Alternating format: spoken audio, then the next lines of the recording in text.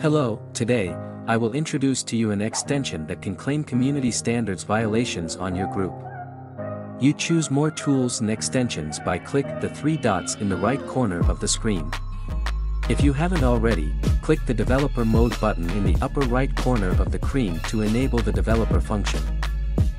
Next, open the file you just downloaded. Right-click and select WinRAR then select Extract here. Then pin Extensions to the toolbar and click the Extensions icon the toolbar.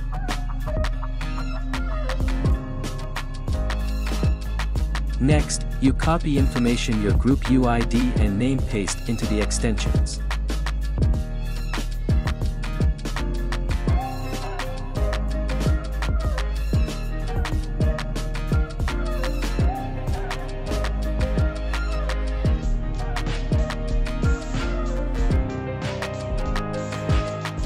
Wait a moment for it to finish loading, then you go back the group and reload the page. Your page quality has is at risk to has become green.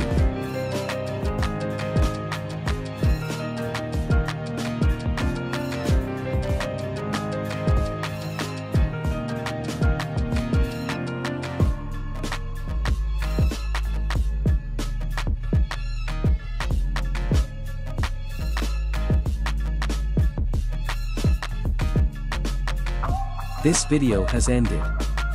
Thanks you for watching my video. See you again in the next videos.